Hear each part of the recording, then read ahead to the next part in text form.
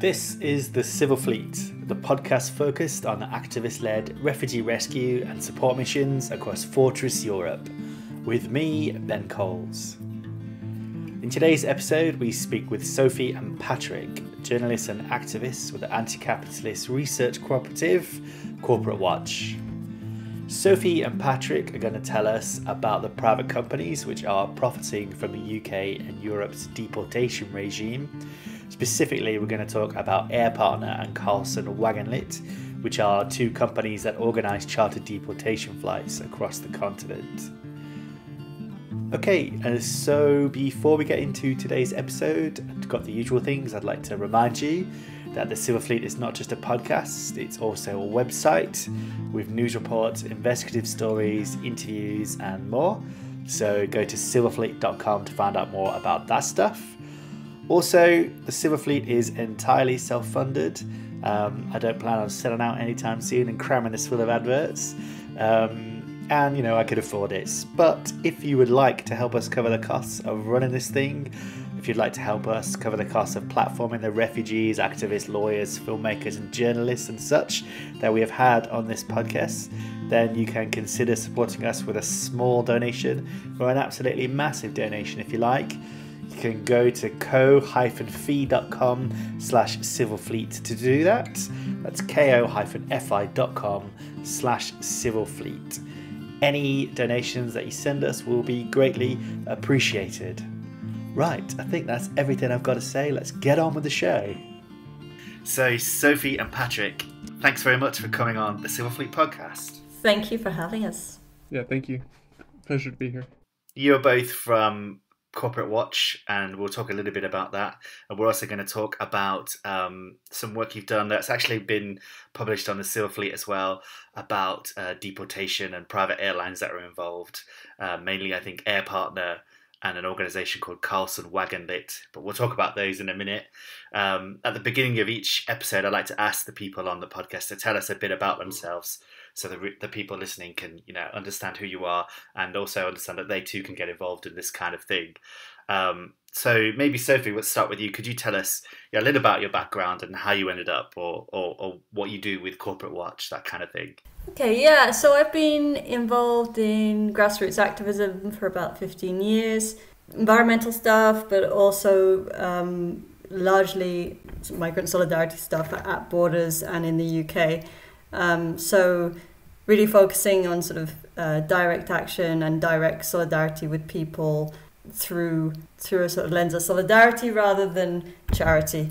And so I started working at Corporate Watch a few years ago, and um, much of the work that I do here is around migration, but we all do share different topics. So we'll also do environmental stuff and looking at kind of uh, landlords and prison companies or mental health companies and basically the whole range of, of, of uh, companies that we investigate at Corporate Watch.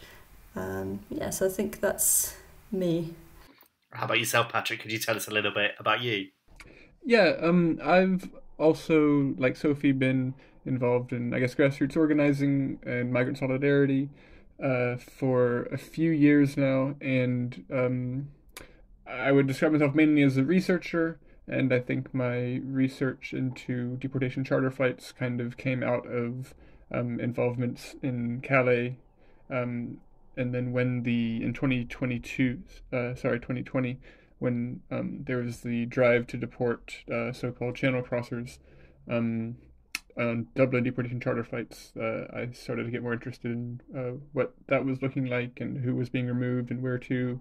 And um, we started a group of people trying to organize also support um, for people in European countries after they had been removed, uh, who had maybe been through Calais and then been in the UK and then were back in uh, Germany or France or other European countries. And then, you know, through grassroots networks, try to get them support. Um, so that's how I came into researching this topic. Yeah, that's both really interesting backgrounds, and it kind of can see how you ended up doing this kind of thing with Corporate Watch. Um, could you tell us, like, Corporate Watch is something that I've really admired for quite a long time. I think I first discovered Corporate Watch when I was doing my MA degree in 2014 in journalism.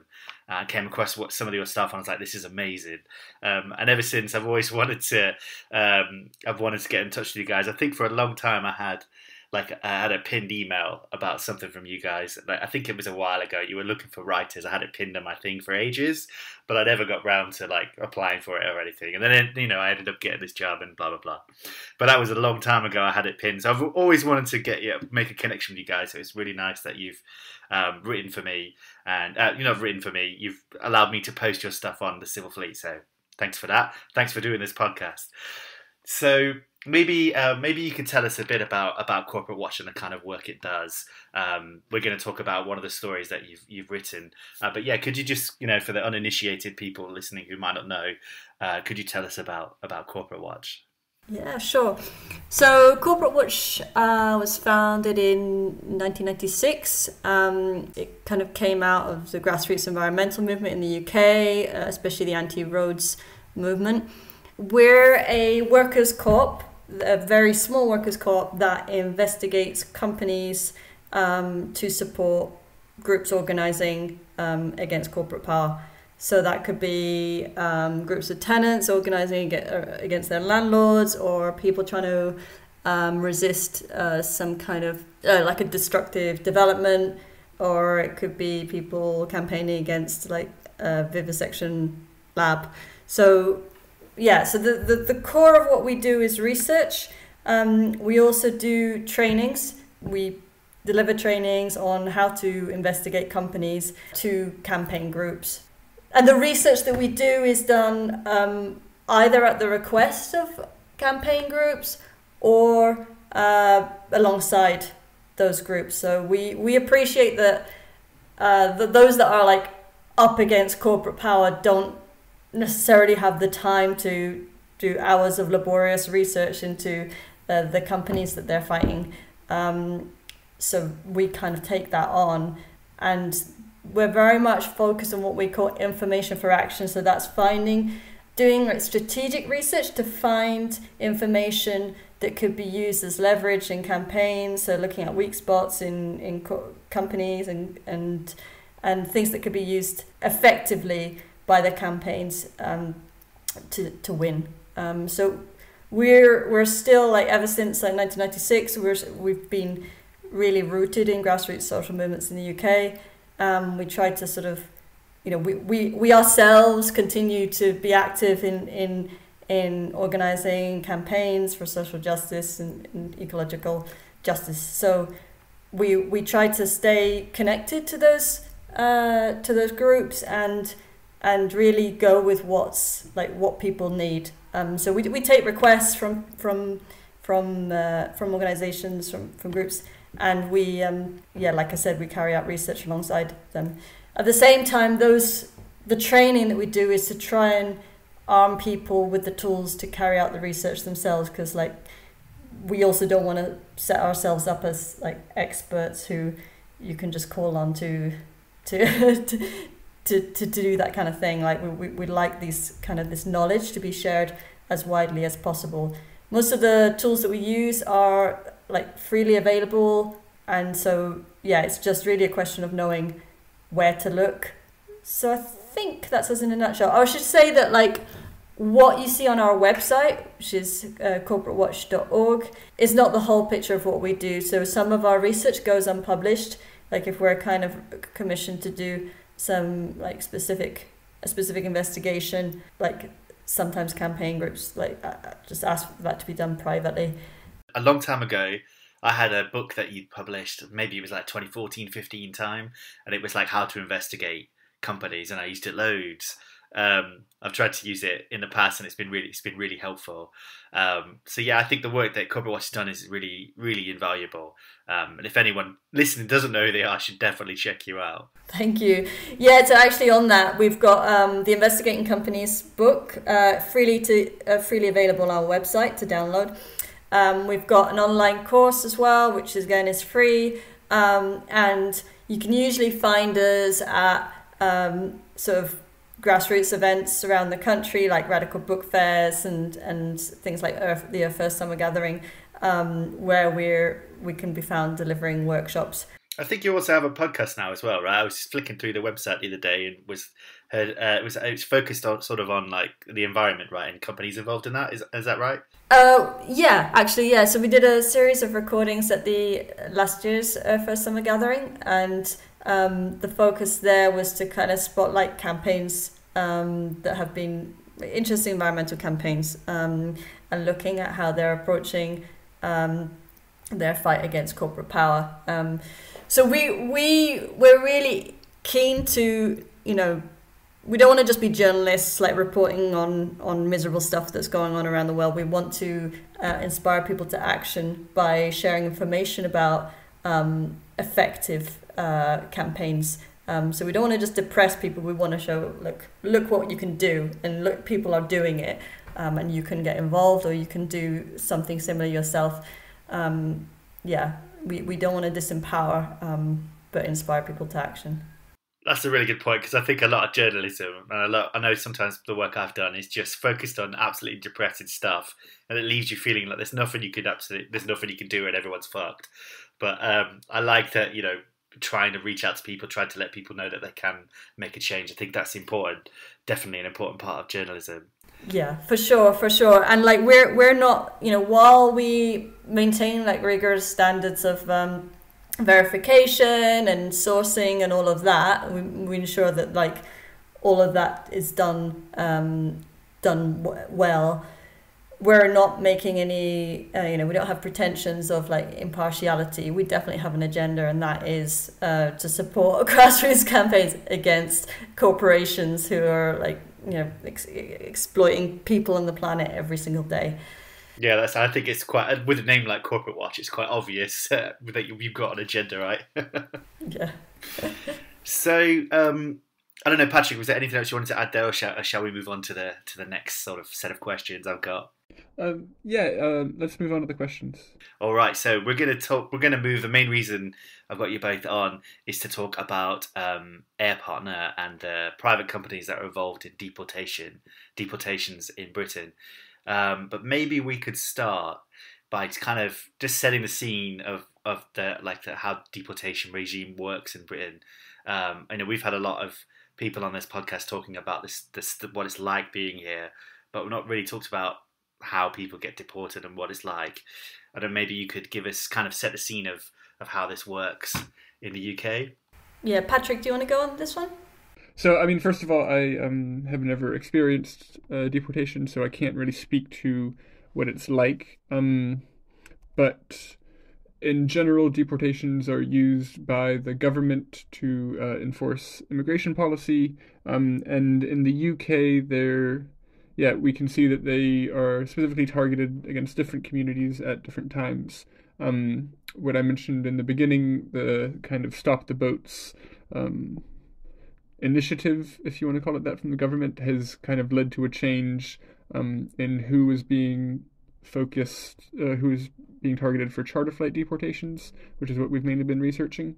Um, but this has now shifted towards Albanians who uh, who are now the kind of new uh, scapegoats in the media, um, not only for crossing the channel, but also for presumed criminality and preservation in organized crime, uh, trafficking, all these kind of things. So, um, I can't again speak to how deportations what what they're like, but um, I should say that the UK deports a minority of people on chartered flights. Most are individual people removed on scheduled flights um, in 2022, I believe only 40% of people were um, placed on charter flights, deported on charter flights, whereas in 2021 it was 46.9.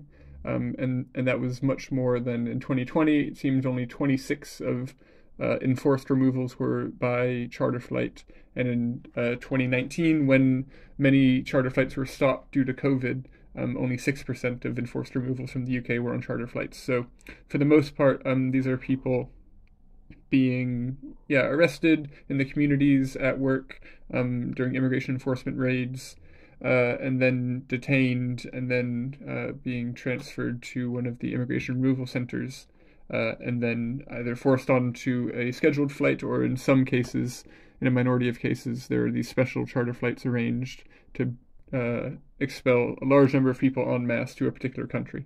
And charter by by charter flight, you mean it's like it's uh, been chartered? It's a private company that's been chartered by the Home Office, right? To has been contracted by the Home Office to remove people. Is is that is that what you mean, right? Yeah. Unfortunately, again, you've broken up in the question. Uh, I believe you asked um, what a charter flight is. Yes, it like it, how is it different to like a standard flight? Uh, it's different in that um, a home the home office basically leases an entire plane to fly one route for it, um, and that plane is there for the purpose of deporting people. There are no, uh, well, there's many other people on the plane, but these are um, guards uh, now employed by Mitie, who are there um, to keep people in their seats. There are some Home Office uh, functionaries, representatives. Uh, there are some paramedics, but for the most part, the entire plane is only flying for the purpose of deporting people to a particular country. Mm. And yeah, so the the other thing is like just prior like prior to deportation, usually it's, it's common for people to be moved around detention centers, which disrupts their ability to access legal advice. Um, and people's phones are removed from them before uh, the deportation to basically minimize the chance of them being able to either report on what's going on or um, you know contact their lawyers and, and, and try and stop it. So um, there's a high degree of, of, of control obviously um, before before the deportation. The other thing is that there's usually at least two quote escorts, as Patrick mentioned, like per person on uh, on a flight run by Mitie. So you know, there's there's there's a high high degree of control, and the whole rationale behind charter flights is to minimize the chance of of resistance, and and obviously also to to deport as many people as possible in one go. So yeah, they, they, they were introduced in the UK in I think 2001 by the new Labour new Labour government and um, and yeah, ironically, actually, given how things are going today, like the the, the first flight I believe was to was also to Albania. Yeah, so when people are deported on like scheduled flights, like uh, say commercial commercial flights, it can be easier to resist those because people can passengers can sometimes step in and um, you know you can also witness the, the violence perpetrated by the guards on the other hand, um, charter flights keep that uh, away from public view. So everything that happens on there is is you know is a secret. Um, it's very very hard to gather evidence of actually what goes on on those flights. All all we have as non deportees is um, testimonies from people who have been deported um, in sort of you know some instances where um, people have been met on the other end um, and and asked about how that's gone. Sorry, I, I should say on that that um, there has been great research from uh, Liberty Investigates into uh, uses of force on charter flights. Um, around the Rwanda case, uh, they uh, they got documents about the use of force on those flights. The the I mean the pain positions, the compliance positions that guards were using, and the um, things that they were trying to do on that flight, um, uh, which should be read as well as um, the uh, Inspector of Prisons um, sometimes uh, releases reports on specific charter flights where they go into the use of force, which takes place. Yeah, I, I think um, I've seen the Liberty stuff. I'll, I'll link that into the show notes. Uh, so people listening can find those. And I'm pretty sure that I think the independent newspaper, it might have been the Guardian, can't remember which, but they have also had reports on. There was one that was quite um, there was quite a famous case. I think it was either last year or the year before when um, a flight to Rwanda was about to take off and activists managed to stop it. Um, and I think there was reports um, on either of those two newspapers on, on from people uh, who was on that flight. Um, but yeah, I was going to say this. There's been um, quite a lot of resistance to these deportations, even like amongst communities. Right, there was a really famous one in Glasgow either last year or the year before again, when hundreds of people just crowded around a van, police van to stop these people being deported, and also in Lewisham. I think it was Lewisham or near uh, Peckham. I'm not sure, but that they, these things are amazing to see. Uh, so there's been quite a lot of resistance, right? Yeah, absolutely, and and so there's there's been resistance in, in various forms, like from deportees themselves, um, uh, which can be uh, effective, uh, particularly in the case of like scheduled flights, um, but also um, from uh, like like activists in solidarity with with migrants. So like um, whether that's like literally blocking the coaches that are trying to uh, take people from the detention centers to the planes. Um, that's been going on for years, on and off, uh, like lock-ons to, to, to block the path. Um, or um, one strategy that can be very effective is resistance in the community to immigration raids, and the reason for that is because it's you know it's out in public, it's in the middle of the street. There's lots of people, um, whereas like trying to resist at a detention center or an airport is obviously a lot harder because it's a, a highly controlled zone.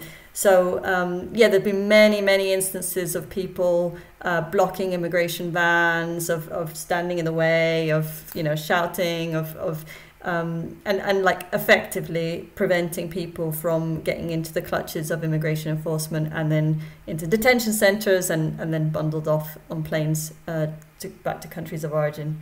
Yeah, and it's always really it's always really great to see those um, the the people resisting it. I've been trying to get them on the podcast actually, uh, but I kind of need to wait for another one to happen. Um, so let's move on to um, which companies are involved because, like like you've been saying, I think Patrick, you were saying this. These are private companies. Uh, Mitie is a private company that's involved in this. Um, so you, you've done some articles on Air Partner and a company called Carlson Wagonlit. I think that's how it's said. Um, could you kind of give us kind of tell us background about these companies and, and what they do and how they do it on behalf of the UK Home Office? Yeah, so to just kind of briefly map out some of the border profiteers, we've got um, Carlson Wagonlit, which is a, a, travel company, international travel company that we've known about for years, um, that has uh, been doing what they call like the ticketing services, which is literally like booking the tickets for um, deportation flights, um, sort of overseeing the overall logistics of the op, um, uh, liaising with guards and all of that. Um, and so we've known about them for a really long time, but what we didn't realize is that a chunk of that work was being outsourced to um, a company called Air Partner, which we'll talk about in a minute. Um, so the reason for that is because the the the UK um, website, Contracts Finder, which provide sort of releases information on um, like public procurement, so like contracts um, won by companies for government work, um, actually had a lot of stuff redacted. And when we looked at the European equivalent, um, which is called uh, TED, um, Tenders Electronic Daily, um, we found that there was a bit that wasn't redacted in that that mentioned that um, a whole bunch of the work had been subcontracted to Air Partner. Um, so, and the work that's subcontracted to Air Partner is um, effectively finding the airlines to do the deportations. So um, it's, a, it's totally a middleman job. Um, they liaise with airlines like, uh, well, the deportation airlines we've kind of done quite a lot of reporting on in Corporate Watch, which are um, uh, so, you know, Privilege Style, we've mentioned, Titan Airways, um, Air Tanker, TUI. Um, uh, Patrick, can you remember some more? There's a few. Yeah, sure. So um, currently this year, because they also change from year to year uh, based on public pressure campaigns. Um, so TUI is pulled out. Um, Hi-Fly, which was doing many in 2020, has uh, seemingly stopped, or at least they've reduced the number of flights that they fly. But um, this year, so far, uh, in the first quarter of 2023, um, there's Titan, which is a British company flying out of Stansted, Corendon, which is a Turkish um, tourist airline, Privilege Style, which uh, there's been a lot of reporting on, especially after their involvement in the uh, failed Rwanda flight. Uh, then you have a Portuguese company, another small Portuguese airline, Euro Atlantic, and another Spanish small charter airline called Albastar. So um, what it's, it's quite interesting to see is that many of these companies are headquartered in Spain and Portugal, um, and they're you know they're they're flying not only flights for the UK Home Office but for other European governments uh, these deportation charter flights. So it's it's a lot of the same companies that you see popping up again and again, not only in the UK but uh, throughout Europe. Yeah, absolutely. And besides, you know, besides that, we've also got um, you know, a whole string of profiteers along the way. We've got the guards that we've mentioned a few times.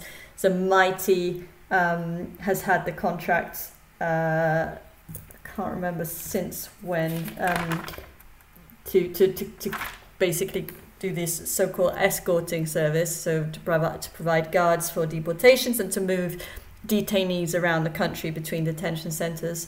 Um, Mitie also runs uh, Dungavel Detention Centre, um, what's now known as Heathrow Detention Centre, which is made up of Colnbrook and Harmondsworth. Um, so those two sites are now apparently turned into one like mega detention centre with like up to a capacity of up to a thousand people, more or less. Um, they were uh, running operations, security operations at Manston Camp, uh, Derwentside Detention Centre. So and so Mitie currently run approximately 50% of the UK's uh, immigration detention capacity. And then alongside them, we've got Serco, which runs um, the Gatwick Detention Centre, which was formerly known as like Brooke House and Tinsley House. Again, they've kind of been merged into one operation with one big beneficiary. Um, and they're running that until 2028 um, at least because a lot of these contracts can be extended for a couple more years usually. And they also run Yarl's Wood uh, Detention Centre as well as asylum housing.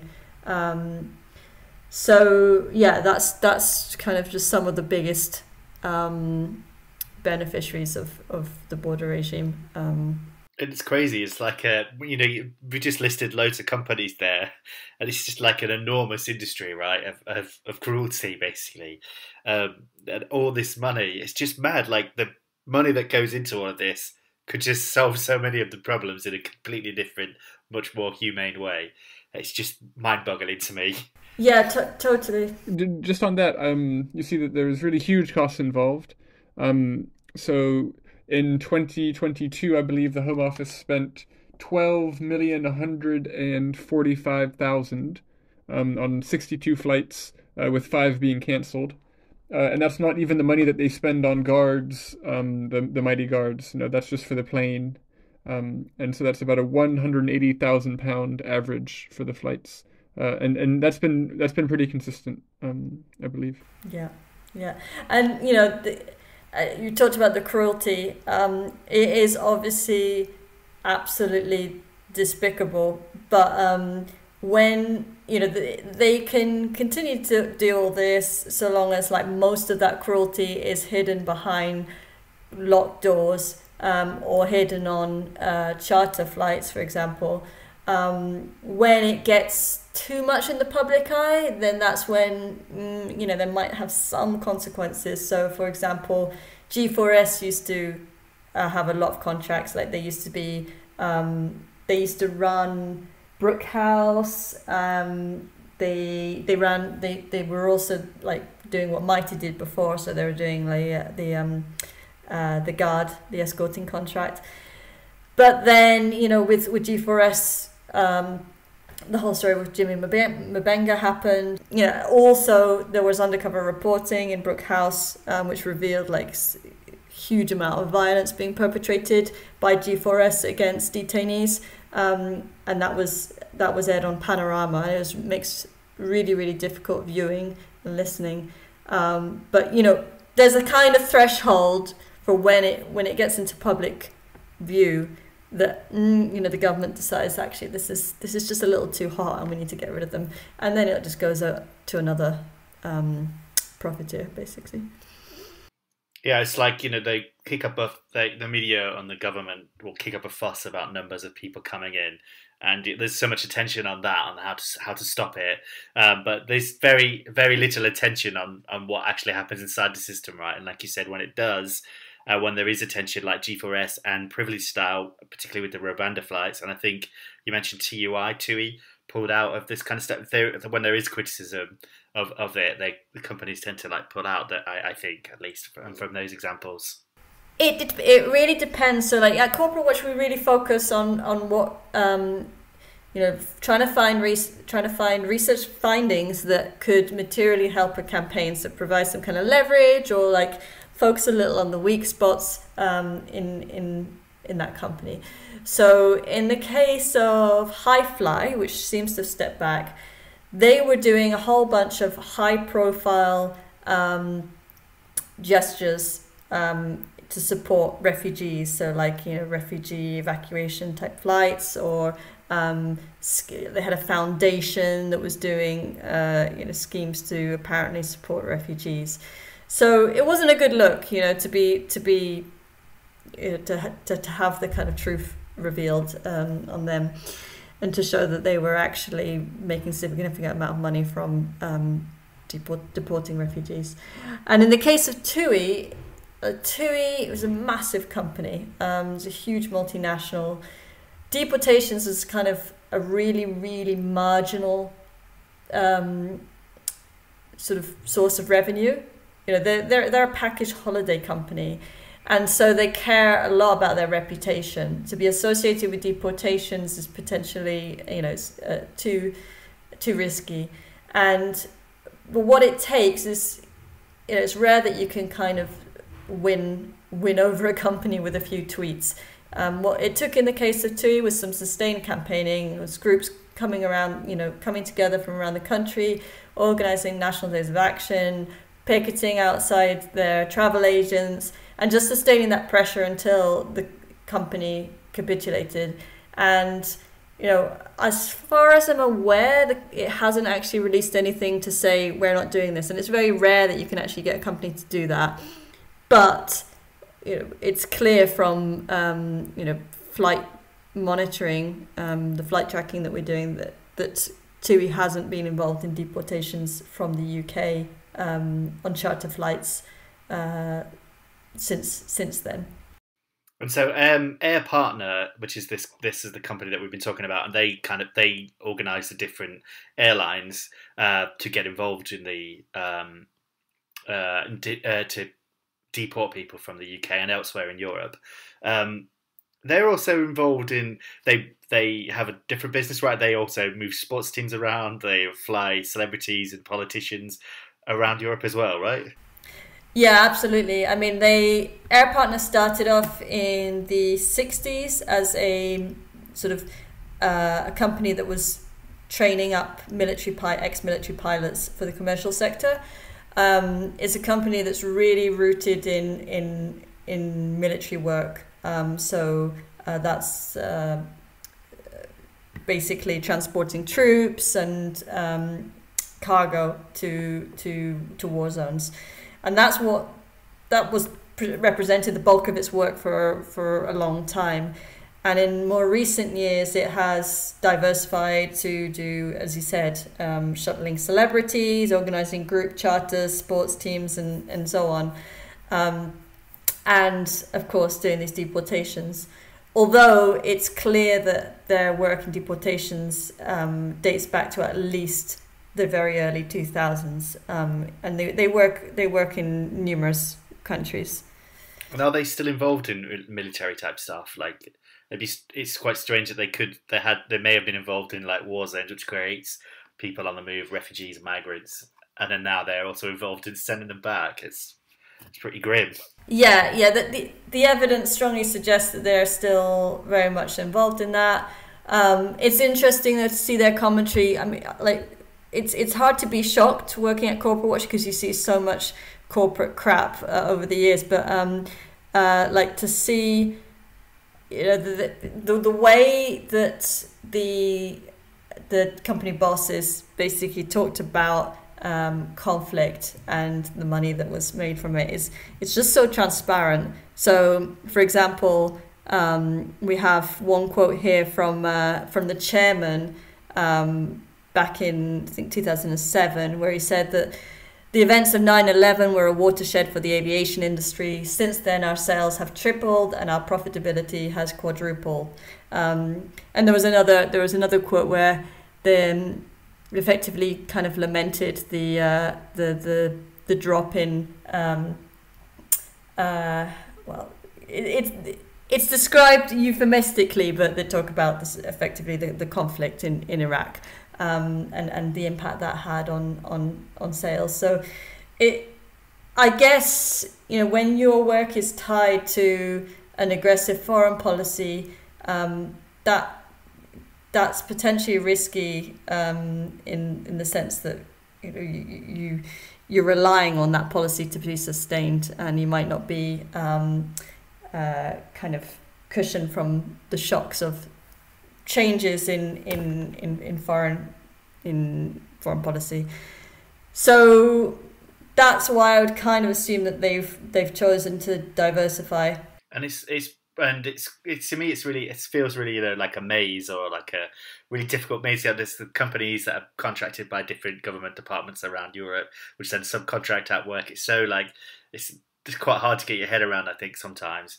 Or maybe in this case, not so much. But in other, you know, when I've tried to look at investigate other things, it's like who is responsible for what's going on here? It's it's really complicated. Yeah, yeah, and you know, a lot of this information is, of course, kept as secret as it can be. Um, it takes some digging to, to piece these things together.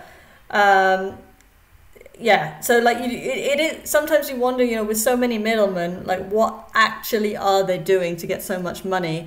Um, in the case of Air Partner, I think that an important thing to point out is that since their role is effectively to um, to to procure the airlines to get to get airlines to to do specific deportations when governments ask uh, for them to happen.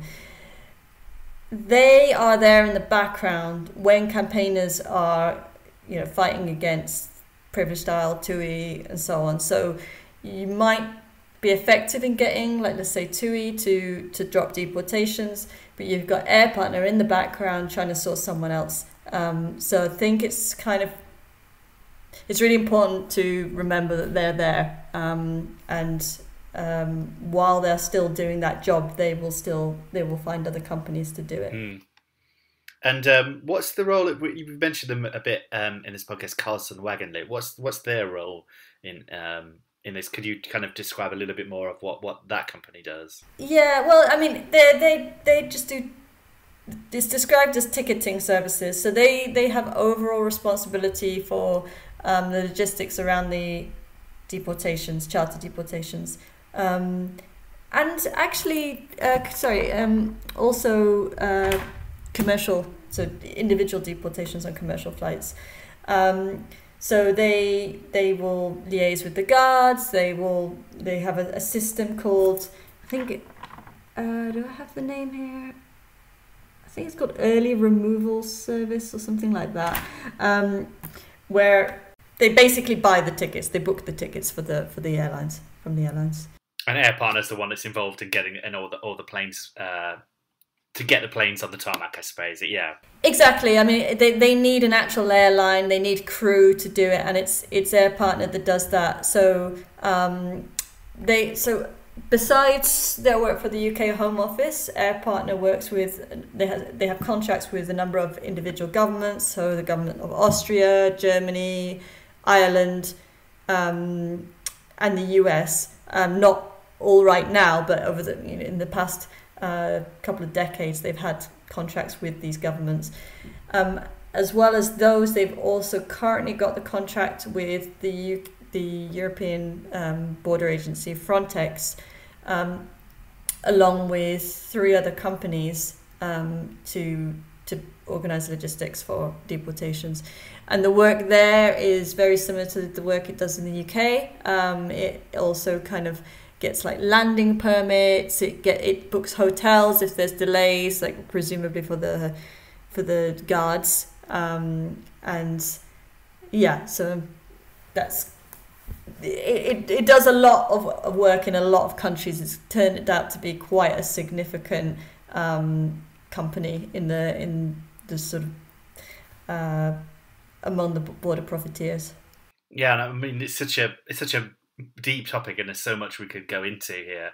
Uh, I think in the interest of time, maybe we should move to a kind of a broader sort of thing. But was there anything else, you know, we should talk about Air Air Air Partner or, or the deep, the companies involved in deportations. I want to ask a kind of broader question uh, as we get towards the end of our time here. But was there anything else you wanted to add about the about the company or something I should have asked? I mean, no, I would say I don't have anything to add other than to point out that um, while while we continue to focus just on the airlines um, like Privilege Style and and TUI, we you know behind the scenes there is this company, uh, well two companies, um, Air Partner and Carlson Wagonlit, um, who have been for you know, years and years benefiting from um, the misery of people um, being deported. So yeah, it's just to kind of highlight that they're there, um, and we're, we're, it's quite easy to get to, to focus on the airlines, especially when they've got ridiculous names like Privilege Style, um, you know, uh, or, or they're like um, a, a familiar brand like TUI. You know, there's there's also these kind of more, in some ways, more boring companies behind the scene who who are um, equally, if not more, um, yeah, uh, worth worthy of attention. Yeah, that's a good. I'm glad to point that out. So, and I think that I would add um, the importance of having a kind of transnational uh, coalition to attack this this system, right? Because the airlines are often not headquartered in the UK. It's kind of only Titan and before Air Tanker that was actually a UK company.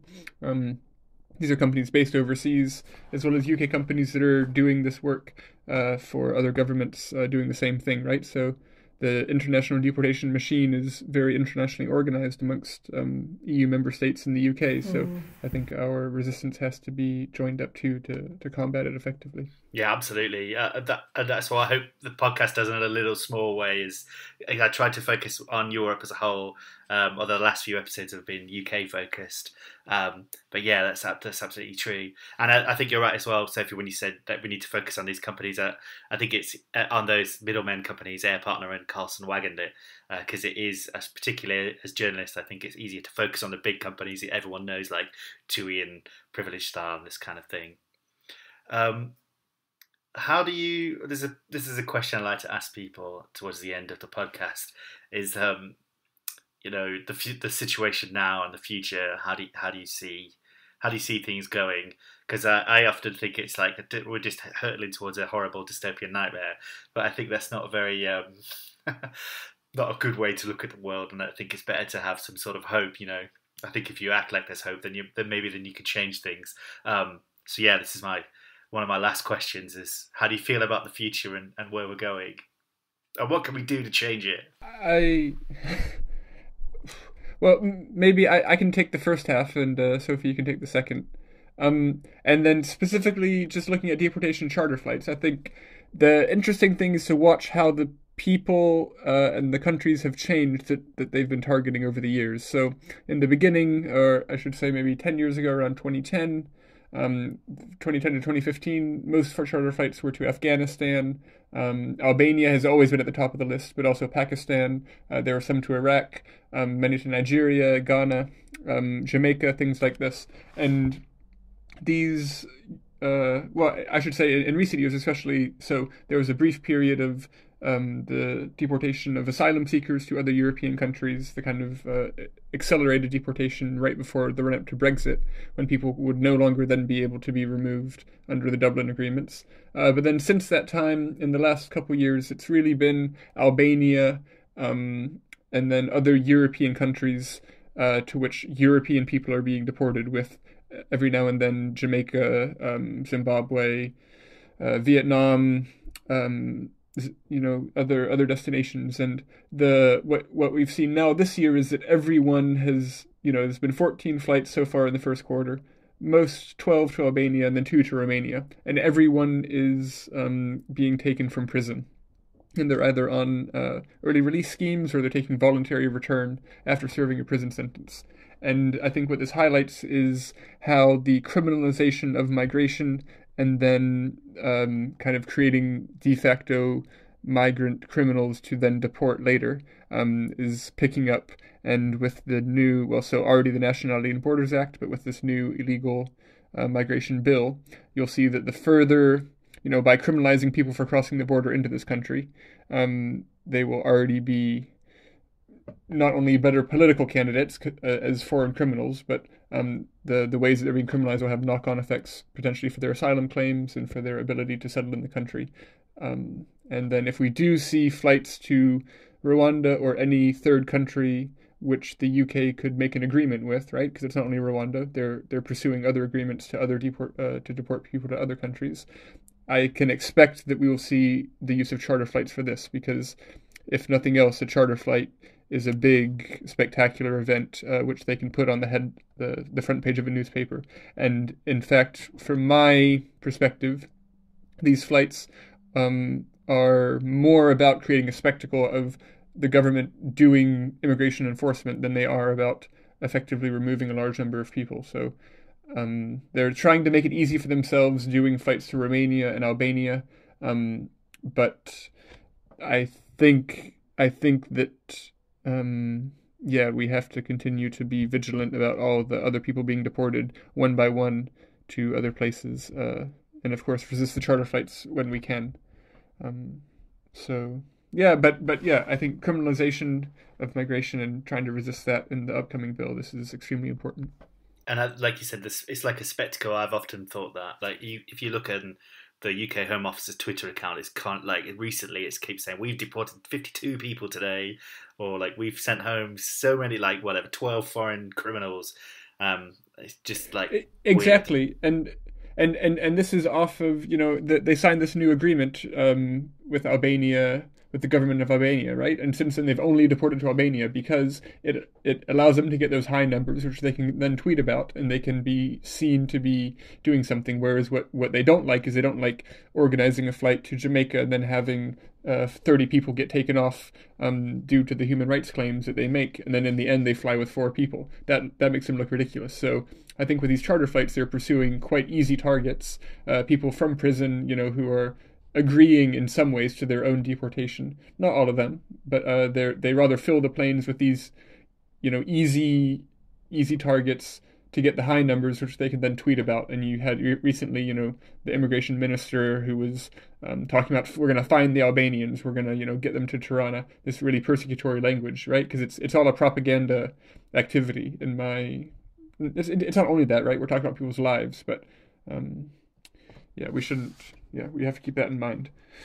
How they how they game the numbers uh, with these flights. I think Sophie, you were going to take the second half of this horrible question. Oh, um, well, I can't remember what the second part was, but it was it was about the future, right? And um, and is there any hope? Was there something along those lines? Yeah, that's right. Yeah.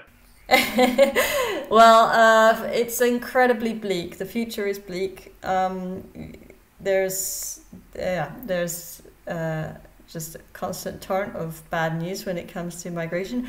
But um, we know we know that people can organize effective resistance um, through direct action. Like we've seen that in the forms of like anti-raids activism, resisting people from being snatched from their communities.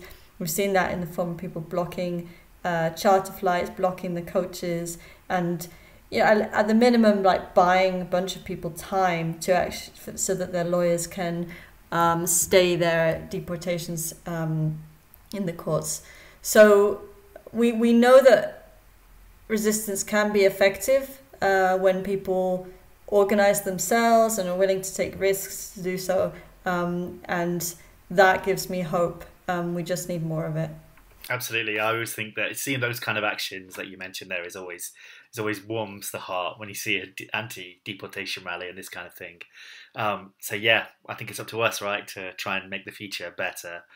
Um, so the last question I wanted to ask was, um, I'm going to have links to Corporate Watch to people to find a work. I'm sure most people, many people listening to this will already know. Uh, but what are some ways that people can follow Corporate Watch, find out more about what you do, get involved, and um, and support you? Cool. Yeah, the best thing is probably to subscribe to our newsletter, and there's a link uh, on our website to do that. And if you subscribe to the newsletter, you'll hear about um, uh, like events that we're going to, workshops we're doing. You'll hear about our recent reports and things like that.